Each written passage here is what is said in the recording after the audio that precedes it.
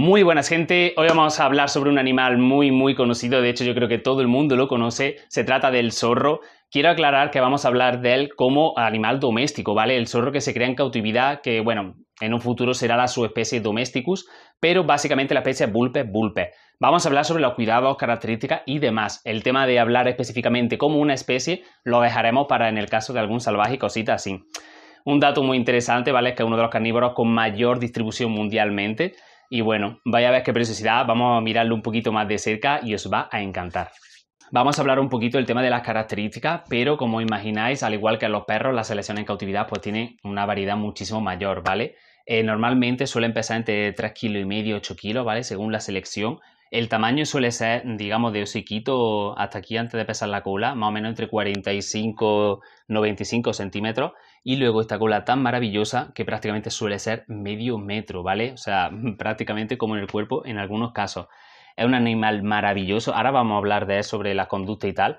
Y el tema de las coloraciones, como podéis imaginar, al igual que la raza de perro, es muy, muy variable. A mí me gusta separarlo en cuatro o cinco grupos, que sería básicamente blanco, rojo, gris y negro. Este es uno de los más conocidos, bueno, sería la mutación Gold Cross, ¿vale? Que tiene la orejita rojita, el patrón rojito de la zona ventral hasta la de esta y debajo del culete, digamos, ¿vale? Sin extenderse por la parte de la base de la cola. Igualmente mm, se conoce como el grupo de los plateados. Plateados son mutaciones que también salen en estado salvaje, igual que todas las otras mutaciones, aunque suele ser más raro de verlo y varía muchísimo según la subespecie. De hecho, el New Bowland o Escandinava, que sería el Bulpe, Bulpe, Bulpe, aquí el que tenemos Silacea, que tiene el mantito lateral gris, varían muchísimo, ¿no? Pero en cautividad eh, las selecciones tienen casi todas hibridación entre ellas y al final se establecerá, como hemos comentado, una subespecie doméstica, ¿no? Domésticos en este caso supongo que se llamará. Y bueno, eh, este entraría dentro del grupo de los zorros plateados, que básicamente es la misma especie, pero se le llaman a los zorros del grupo negro, ¿vale? Melánicos, melanísticos.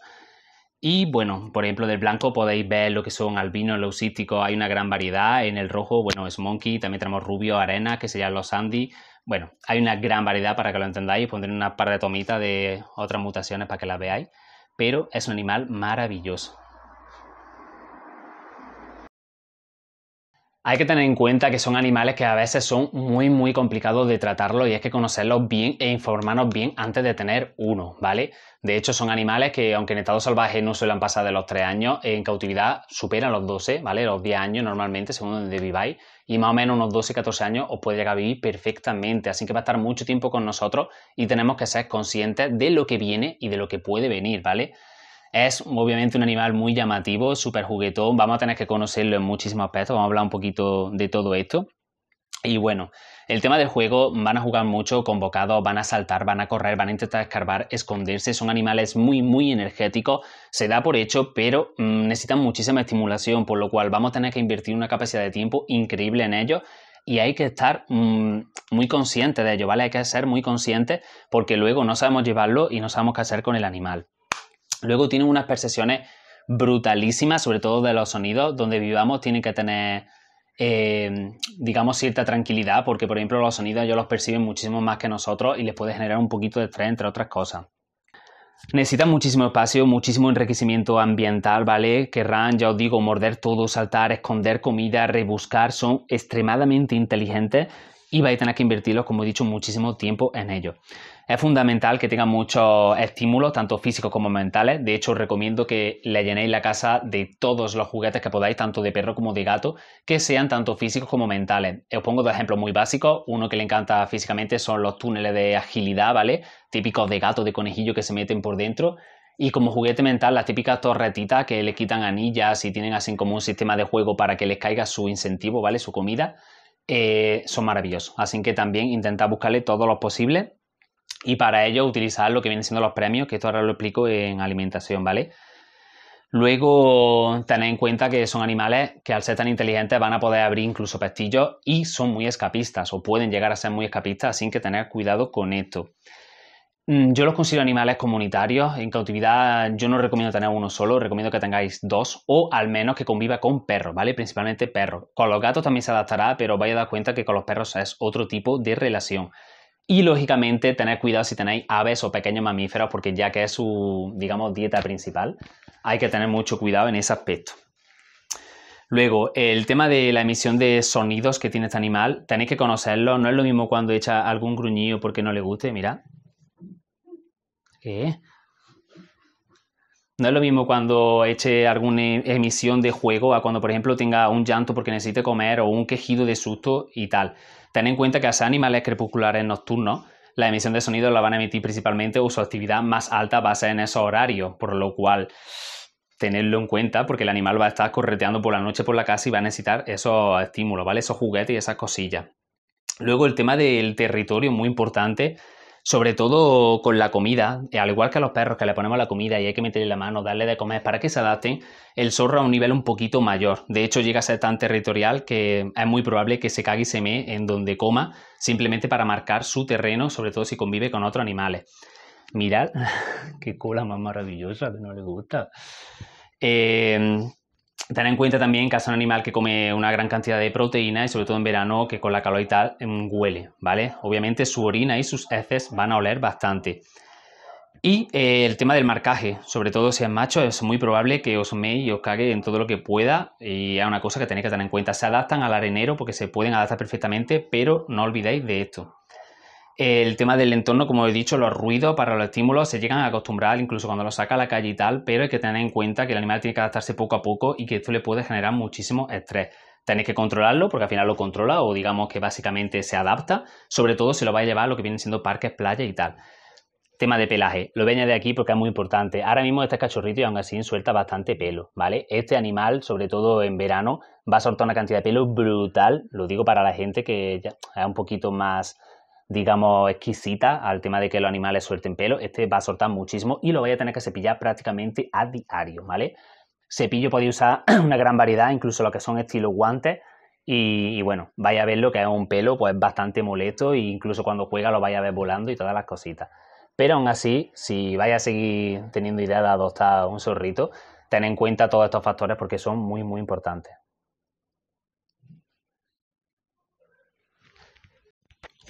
El tema de la educación, con que le demos un no rotundo para que aprenda y le demos sobre todo refuerzo positivo, es suficiente. No se les pega, ¿vale? No se le da ninguna suerte en la cabeza, no se le da ninguna suerte en el culo porque le va a crear una conducta de rechazo y de confianza muy, muy bestia, ¿vale? Tener esto mucho en cuenta. Obviamente, a animales carnívoros, el porcentaje de la dieta, vamos a decir un 90%, va a ser de carne, ¿vale? Puede utilizar conejo, roedores, aves, ¿vale? Incluso pescado, el salmón, truchita, cosas así, les encanta. Y bueno, ¿qué quiere? Está aquí. Eh, es verdad que la podemos complementar con lo que viene siendo un pienso que sea libre en grano, ¿vale? No comen arroz, no comen temas cereales, trigo, eso hay que evitarlo en todo lo posible. ¿Qué pozo? ¿Qué quiere? Y bueno, los podemos comprar básicamente de perro caturón con un alto porcentaje de proteína y además llevan incluido lo que viene siendo suplementos vitamínicos que son apropiados, por lo cual no hay que, que dárselos extras ni en cápsulas ni nada. Aquí tiene. No tengo más. Y os preguntaréis, ¿y el 10% restante? El 10% restante básicamente son insectos, frutas y, bueno, verduras, hortalizas, digamos. ¿Qué pasa? Que se lo daremos básicamente como incentivo, ¿vale? Como premio y también en los juguetes que son de estimulación. Quiero comentaros que intentéis evitar, por ejemplo, en fruta le podéis dar manzana, las frutas silvestres, las bayas silvestres es súper importante. Eh, evitar lo que viene siendo la uva, las pasas y cositas así, porque le puede dar daños renales, pero como un pequeño porcentaje tampoco es tan radical. De hortalizas y tal, bueno, zanahoria y cositas así le viene muy bien, pero evitar cebolla, ajo, la patata verde que es mala para todos los mamíferos y este tipo de cositas. Y nada, sí os quiero comentar que es importante que le reduzcáis un poquito las proteínas, sobre todo en verano, ¿vale? Para que no tenga, digamos, un exceso proteico. Y bueno, le dais un poquito más de fruta y tal. Controléis la caquita, que sea sólida, que sea compacta, que no tengan diarrea y estas cosillas, por si acaso la fruta que le estáis dando le está generando mucho o estáis dándole un exceso, ¿vale? De ese alimento. Pero vamos, que básicamente son animales maravillosos, le encantan, los vais a enseñar bien. Para adiestrarlos cuando les deis chucha, os recomiendo un clicker, ¿vale? Un adiestramiento canino, porque como ese estímulo de sonido es muy bueno, os va a resultar más sencillo educarlo. Y el tema de cuando le dais de comer, de secarle la mano al pienso, como he comentado, para territorialidad y que no sea, digamos, muy agresivo cuando está alimentándose ni nada, ¿vale? A nivel de reproducción, el zorro suele tener normalmente un celo anual, ¿vale? A finales de año, primavera, depende también de donde vivamos, el clima y tal, pues puede variar. La gestación suele ser de unos 52 días, ¿vale? Y luego tienen unas 8 semanas de lo que viene siendo lactancia, ¿vale? Para su destete y tal. Eh, es verdad que en cautividad mm, no hay que ser tan estricto, digamos, con la monogamia. De hecho, no hay, no hay tema de jerarquía, no hay tema de dominancia entre hembras, que esto es muy común en estado salvaje, así que en cautividad no es necesario. Y bueno, bueno, suelen nacer de lo que viene siendo de 3 a 6 crías. Es verdad que se pueden dar sesiones, incluso camadas de 14 se han llegado a registrar, que es una puta locura y eso suele ir relacionado con la supervivencia. Y la madurez sexual suele alcanzarla algo antes del año, normalmente 9, 10 meses, ¿vale? Más o menos. Y bueno, los cachorritos son muy adorables, de hecho tienen las patitas muy cortitas, son una maravilla. Ojalá podamos grabar algún parto para enseñároslo porque de verdad que os van a encantar y a partir de los 8 días, 8 o 12 normalmente, ya empiezan a abrir los ojos y de verdad son maravillosos. Luego les cambia el tema de la coloración también, lógicamente, como casi todos los animales. Y bueno, son animales sencillos de reproducir, no vaya a tener ningún problema. Y sí pueden ser las madres un poquito más territoriales y defensivas con las crías, ¿vale? Depende también el nivel de socialización que tengamos con nuestra mascota y bueno, la confianza que tenga en nosotros y demás.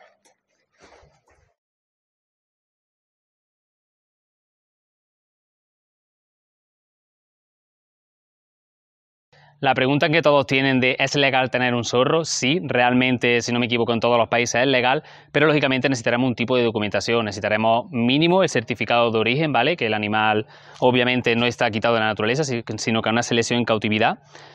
Y, por ejemplo, a nivel nacional, si necesitamos que tenga obviamente su cartilla de vacunación, ¿vale? De parasitación, su microchipado, siempre fundamental. Y depende de la comunidad que viváis o depende de la zona que viváis, lo mismo piden más requisitos. Pero bueno, son básicos hasta que se vaya regulando. Luego es cierto que hay algunas subespecies y alguna especie de zorro en general, ¿no? Que si están en CITES, pues vayan a necesitar también obviamente la documentación CITES, núcleo y otras cosillas, ¿vale? Pero bueno, podéis sacarlo a la calle, tenéis que acostumbrarlo mucho al tema de los estímulos de los sonidos. Cuando pase en moto, cuando pase en coche, obviamente se, asustará, ¿no? Así que intentarlo llevarlo a una zona tranquila hasta que poco a poco se vaya adaptando, ¿vale? Al igual que el conocimiento de cuando vea un pajarito, si lo mejor quiere cazar, que tenga en cuenta esas conductas. Pero bueno, como podéis ver, es una maravilla Así que nada, espero que haya gustado y próximamente más.